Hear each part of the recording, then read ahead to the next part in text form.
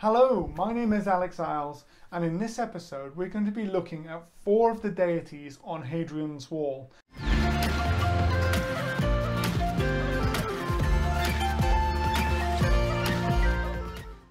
today's episode, we're going to be looking at four deities in the Roman pantheon, and alongside this as well, their representation up here on Hadrian's Wall.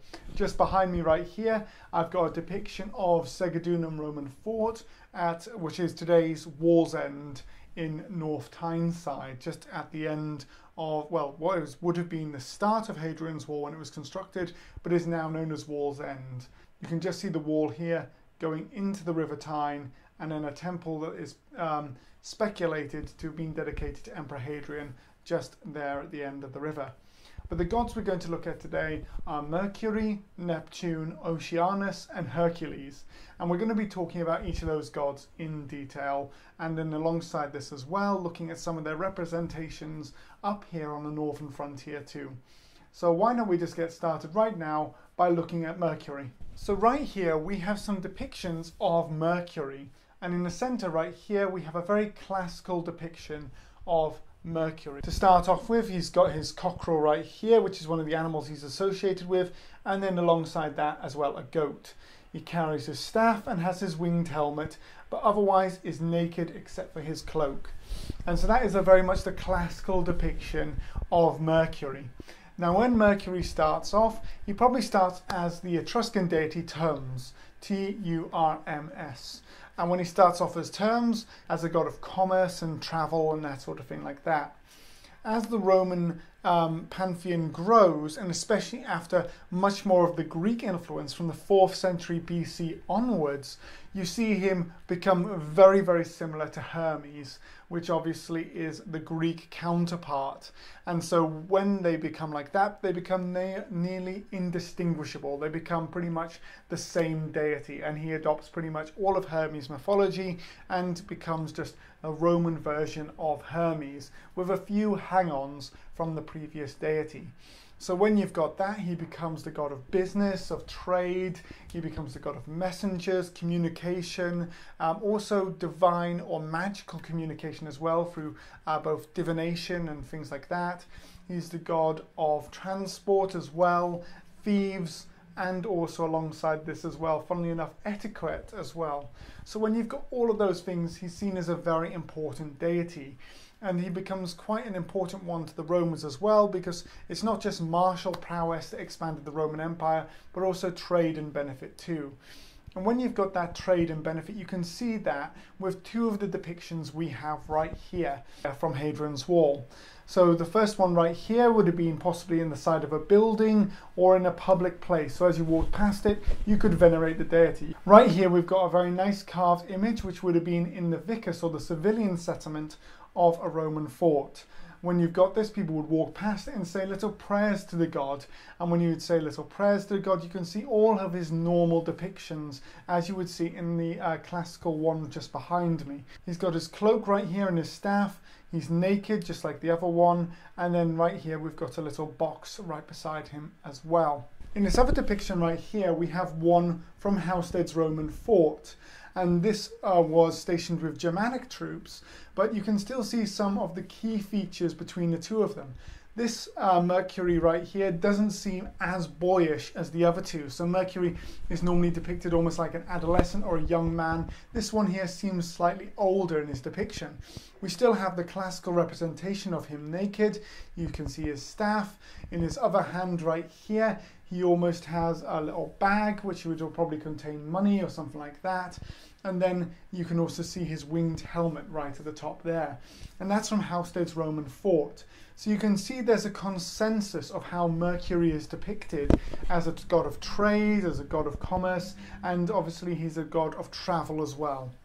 What we'll do now is we'll look at some of the other depictions of Mercury from Hadrian's Wall as well.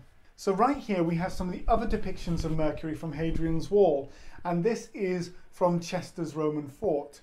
So in the centre you can see quite a badly damaged one but it's also a rougher construction as well. You can see the front of his chest and his head have been removed but you can just see in his hand his staff and also the naked form of the body. Right next to him we've got another one which has got a question mark next to it. Is this Mercury?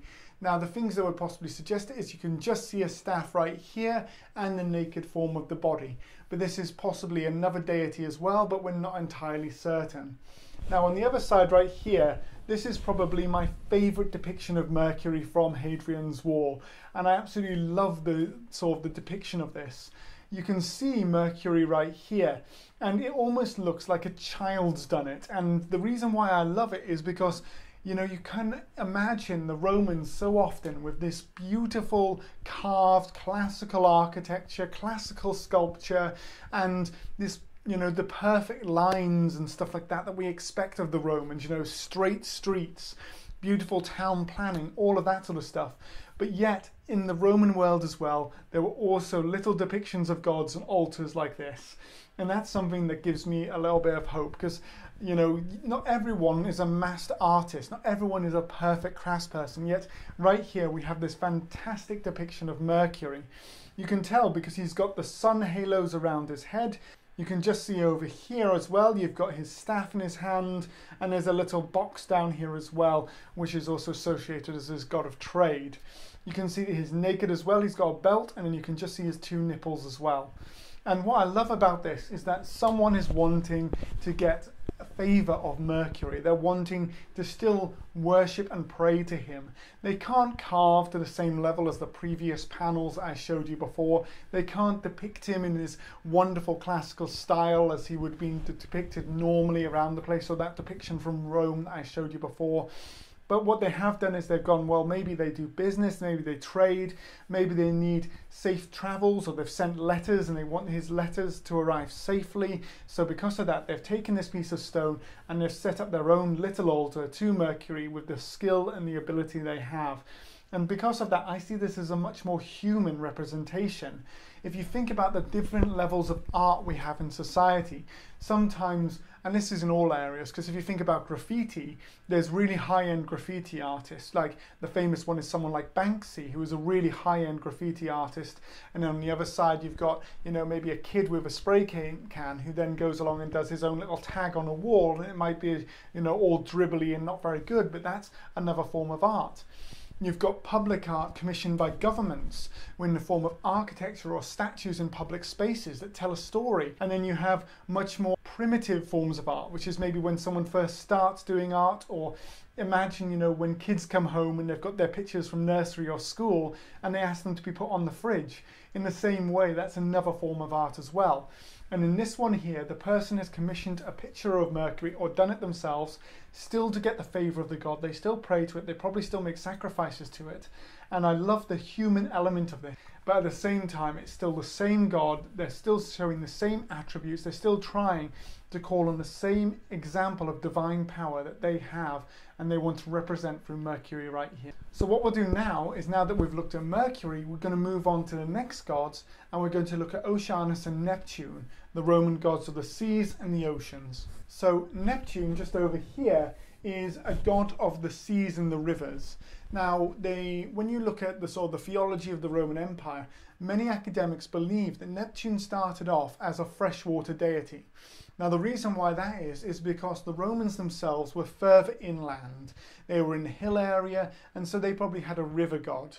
As they expanded, they started to come into other cultures, and as they came into other cultures, then Neptune's area expanded from freshwater rivers and lakes and things like that to become the god of the Mediterranean as well. And so he was combined with the Greek Poseidon, and so because of that, Neptune becomes the god of the Mediterranean, god of seas and also the god of rivers. So that's how you get Neptune in his form there. He's obviously an important deity because he is obviously the brother of Jupiter and Dispater, who is the god of the underworld.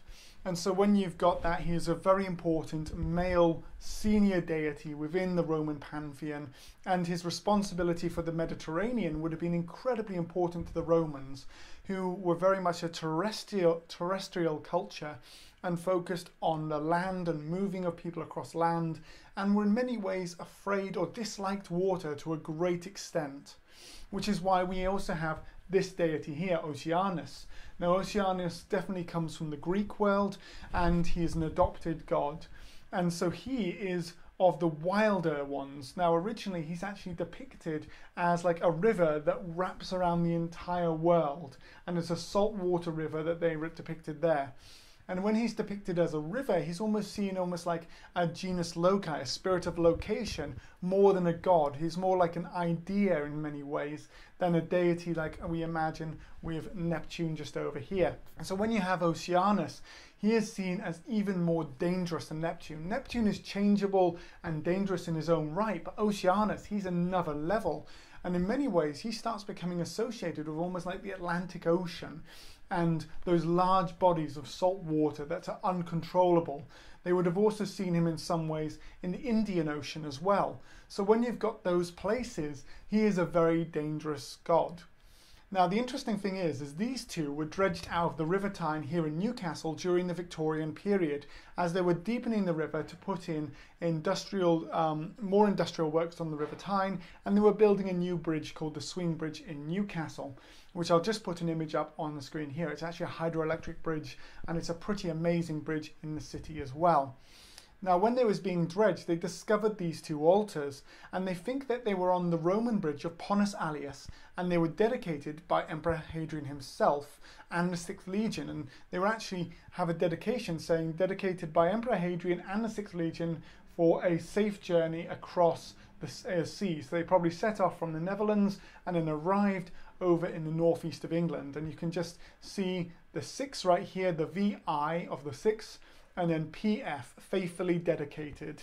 And so you've got the 6th Legion dedicating to both Neptune and Oceanus for a safe journey across.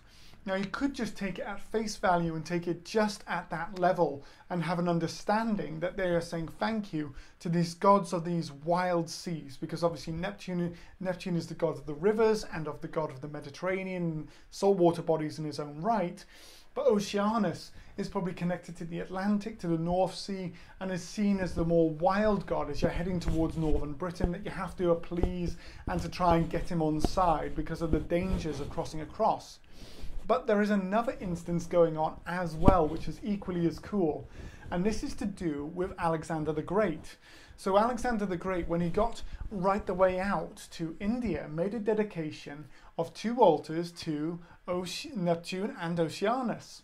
And he was saying, I have reached the edge of the world, made a dedication to the two gods. Sorry, I do apologize. He did it obviously to Poseidon and Oceanus, but I just used the Roman names there, so apologies there for that. But he makes this dedication to these two gods, and he's saying, I've come to the end of the known world. I've come to the end of all of that is known, and this is the end of it. And so Hadrian, when he's coming over here to northern Britain, he he sailed up the River Tyne to Pons Aelius and he's coming to where he's constructing his wall across northern Britain, is actually copying, and people who knew their history would have known that Alexander had done the same thing. And Hadrian is saying, I have come to the end of the world. Just as Alexander was across in India, I am across here in Britain, and I'm at the end of the known world. And so when he's doing this here, dedicating to both Nep- Oceanus and Neptune, that's a really important thing where he is saying, right, I'm like Alexander, I'm a conqueror. I've come out to the edge of the world, but at the same time, I'm saying I'm dedicating to these gods because this is the edge, this is unknown, this is new, weird, and dangerous. And so, by saying to these two gods, who are also in their own way quite dangerous deities for in the Roman mindset because of their association, obviously, with salt water, with wildness, with uncontrollability, and the, the Roman pantheon originally originating from this hill tribes of you know central Italy, you know these water deities are quite quite dangerous in many ways, or they're outside of the normal.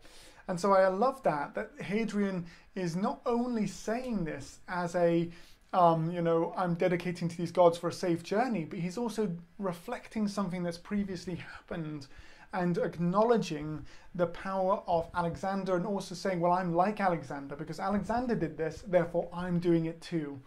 And so these altars and the choice of gods tells us way more than you would think otherwise. And I love that in its own way. This this layers of information that you can get out of just something as simple as two little altars dedicated by an emperor into this area up in northern Britain. So what we're going to do now is we're going to move on again and we're going to look at we're going to look at Hercules and his story as well. So right now we're looking at Hercules and I'm going to guess you've heard of Hercules because he's so famous within most civilizations as this great hero obviously made uh, more famous by stuff like TV shows, films, stuff like that. And he's a popular topic, though often we depict him as we see the male body today and like what we consider, you know, sort of like attractive within the male physical form. When I look at the statues of Hercules, I think he's so interesting because just here behind me, you've got this depiction of Hercules and his biceps are nearly the same size as his thighs. He reminds me of some of the rugby players you see. These are massive, massive guys, huge muscles, stuff like that. And if he's supposed to be a representation of strength and muscle and huge muscle density and all of that stuff as well. Hercules was adopted from the Greek legends. So he was in the Greek myths, he's seen as more of a hero, whereas in the Roman side, he's definitely seen as a deity.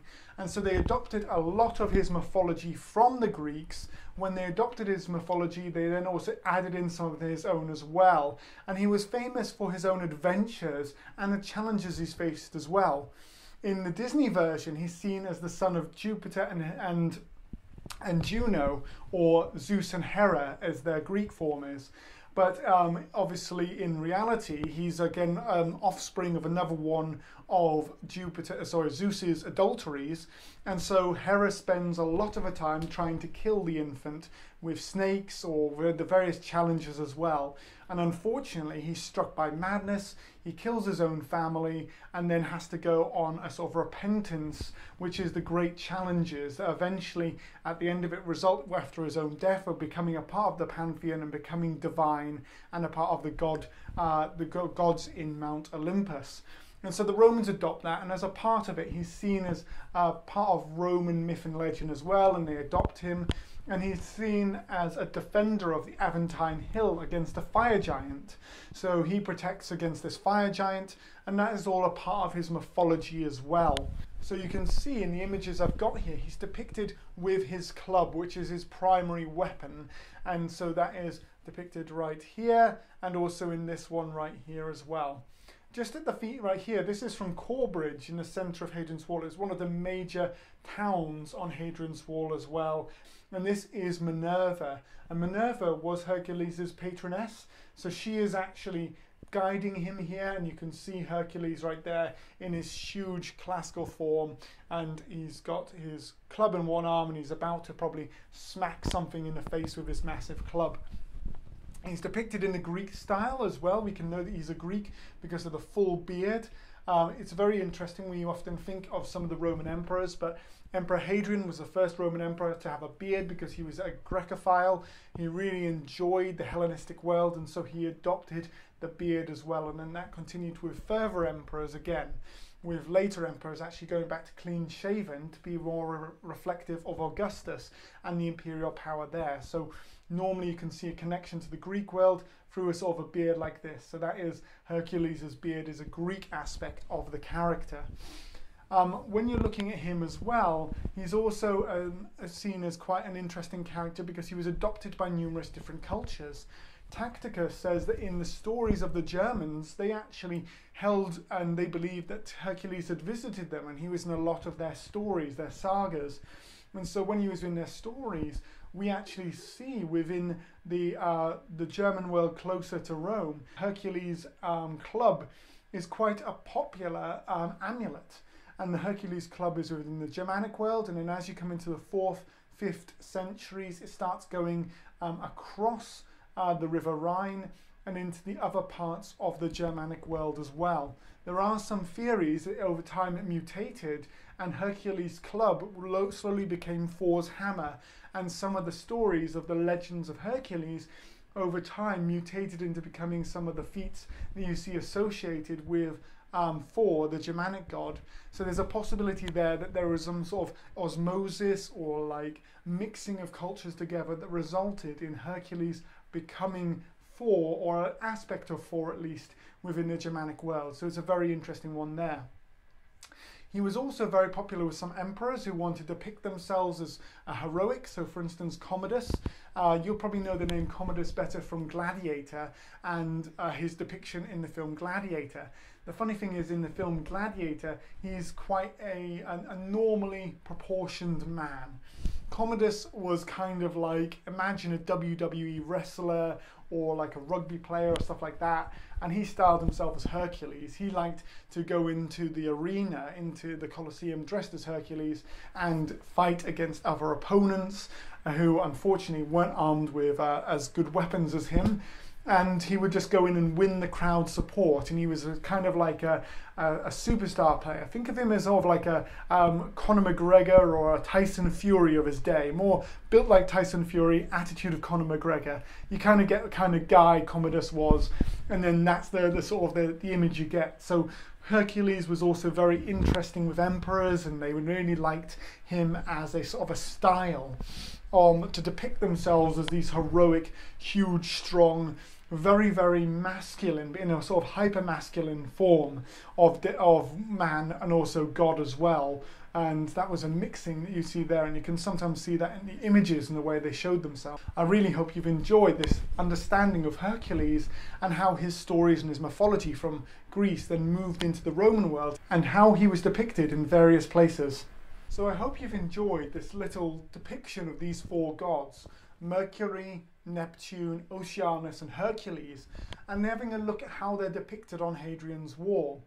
All of these gods were very, very popular in different ways. So, obviously, Oceanus and Neptune would be important to people traveling across what is now the North Sea between the Roman side of Germany, the Netherlands, and northern France into the British Isles and Oceanus as well, more so because of the wild nature of the Atlantic and also the North Sea as well. You've got uh, Mercury as well, who is a god of trade, would be very important for supplying the soldiers on the northern frontier of Hadrian's Wall. And so his depictions, both in the classical style and also in the more crude uh, local style, were very important to people sending communications backwards and forwards, developing commerce, developing business and trade up here on the northern frontier. And finally, Hercules, who was seen as a patron to many of the soldiers on Hadrian's Wall, and they really liked his adventures, his camaraderie, his physical strength, and also how relatable he was as a broken character, but also as a redeemed character as well within Roman mythology and Greek mythology as well. So I really hope you've enjoyed looking at these characters, their depictions on the frontier, and that you've also enjoyed my storytelling as well. As always, please do like and subscribe. Put some of your thoughts down in the comments as well. I'd love to chat with you a bit more. If you'd like to support me, I do have a Patreon as well, which you can find a link in the description. And why don't you join us for another video shortly as we'll be looking at more of the gods in the near future. But in the meantime, stay safe and well, and thank you so much for joining me. Until next time though, goodbye.